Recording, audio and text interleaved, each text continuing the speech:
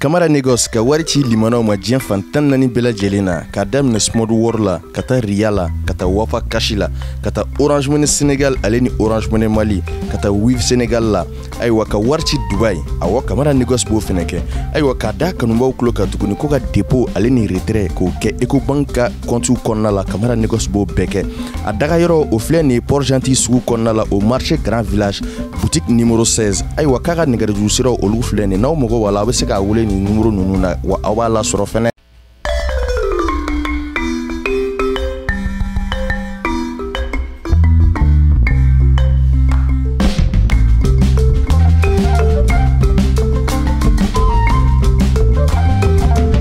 MK TV filɛbagaw a bɛɛ ni ni ɲakuma n'an ka video ka d'aw ye a bɛ taa abonné an ka chaîne na k'a dingɛ kɔlɔsi notification kan wala n'a ye video kura kura kɛ a bɛ kɛ mɔgɔ fɔlɔ ye k'o sɔrɔ ayiwa bi kunnafoni minnu bɛ nɔ ka da an kanubagaw kulo kan olu de ye k'a fɔ ko a fɔlɔfɔlɔ an ka faamaw ayiwa ko olu ni jarabilaw karila ɲɔgɔn na o bɔra min na an b'o di aw ma polisi kɔntajan min bɔra ɲɔnɔ ka taa pemi mɔgɔw ka wari ta u tun atakira o ataki kɔnɔna la ala y'a kɛ promotion 2012 tɛ maa dɔ ni ale tɔgɔ yusuf sidibe jogina donc joginin kɔrɔla la a ma koya fɛ ala y'a ka kalifa minɛ a la an bɛ tasi bilakɛ k'a ɲɛsin polisilakaw bɛɛ lajɛlen ma fɛn fɛn binna mali tɔgɔ la an ka tasibila bɛ a bɛɛ lajɛlen ye ayiwa n'an bɔra yen nɔ an b'an sɛnsɛn ka se kɔdiwari jamana kɔnɔna la siriki jabate ale ni ivoiriyɛnw ka baniba dɔ bɛ yen nɔ ko yetɛn ko gɛngsar don an y'a mɛn ouverture media plateau sanfɛ k'u sera ɲɔgɔn ma a ko in an bɛna don a kɔnɔ k'a walawala aw ye o tɛmɛlen kɔfɛ tuguni an y'a ye k'a fɔ ko fɛr divɛr kɔnɔna la eh, kuma dɔ fɔra o ye an hakili sɛgɛn kosɛbɛ an bɛna don fɛnɛ kɔnɔ k'o walawala aw ye n'o de ye k'a fɔ ko muso dɔ ale y'a a sinamuso an'a den kalo wɔrɔ olu faga ka t'u fili kɔlɔn kɔnɔna la ayiwa ko in yɛrɛ kɛra yoro so o tɛmɛlen kɔfɛ tuguni an bena iba montana ka kunnafoni dɔw ma a yirala k'a fɔ ko ale tun tara kɔnsɛri dɔ la gine sigiri nka ala y'a kɛ kɔnsɛri ma bɔ donk a b'a ka yafa belebeleba ta k'a ɲɛsin faniw ma fɛɛn min y'a to kɔnsɛri ma bɔ n'a ye videow si a b'o sɔrɔ a kɔnɔna la ayiwa an be don an ka bi kunnafoni kɔnɔna la kunnafoni fɔlɔfɔlɔ o ye k'a fɔ ko an ka famaw n'o o ye an ka wolomasiri tabɔ ye u ni jɛrawulilaw karila ɲɔgɔn na mahu kɛra taratadon septanburu kalo tile tan nani 2 di matin wagati an ka famaw u ye sebaya sɔrɔ sabu ka daa kan an ka famaw ka yɔrɔ la maa fila o joginna nka jarawilaw ka yɔrɔ la maa fila fagala moto kelen o minɛra an'u ka arajo kelen an'u ka mugujugu cilen o chargɛri o den naani u sera k'o rekipere ayiwa ko ka da yen lokalite maaw kulo ka fɛn fɛn be kucalo mara la yorosoya mara la ko fɛn min ye operation de patrouille ye k'o be ka kɛ zone kɔnɔna la wasa jarawilaw minnu be nɔ ka t'u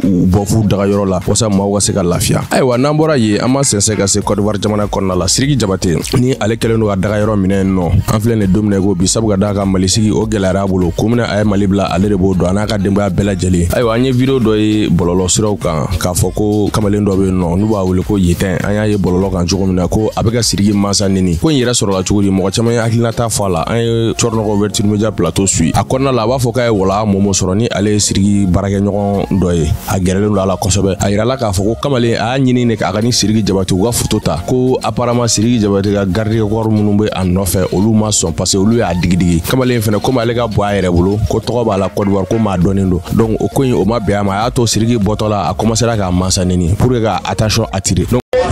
arrêté si ton si t'es pas tu te fous de moi parce que nous y a problème là quoi parce que ça veut dire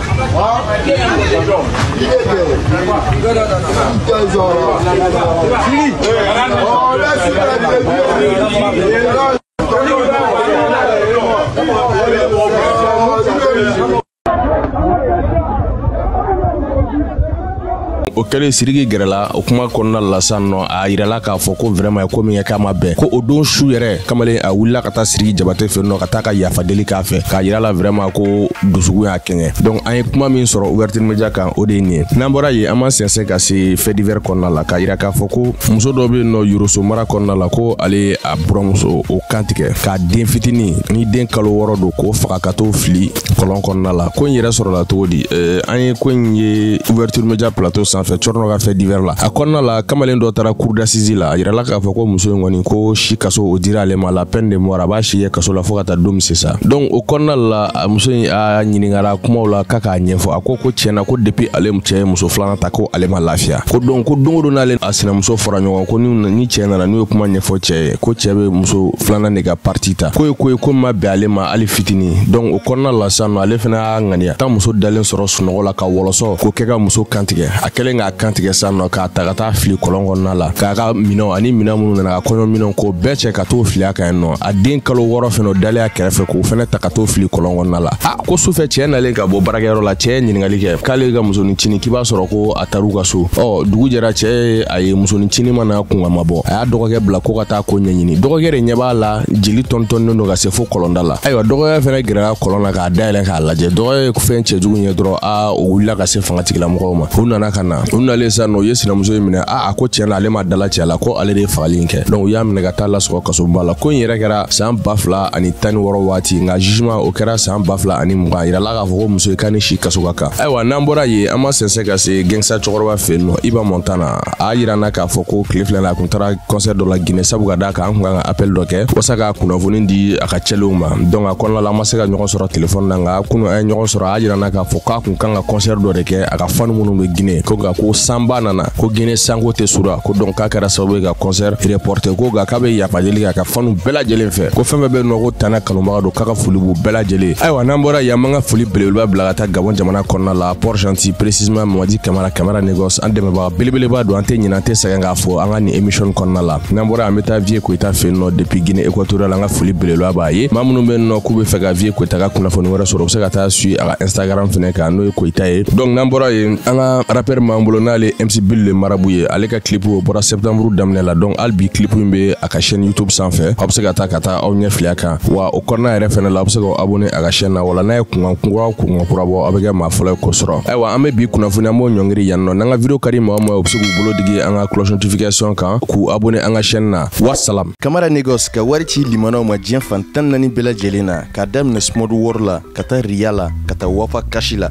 ka taa orange mone senegal ale ni orange mone mali ka taa wiv senegal la ayiwa ka wari ci dubai awɔ kamara nigos b'o fɛnɛ kɛ ayiwa k'a da kanubaw tulo ka tuguni ko ka depo ale ni retrɛ k'o kɛ ecobank ka kɔntiw kɔnɔna la kamara nigos b'o bɛɛ kɛ a daga yɔrɔ o filɛ nin ye port gentil sugu kɔnɔna la o marché grand village boutique numero 16 ayiwa k'a ka nɛgɛrɛjuru siraw olu filɛ nin n'aw mago wala aw be se k'a wele nin numero nunu na wa aw b'a lasɔrɔ fɛnɛ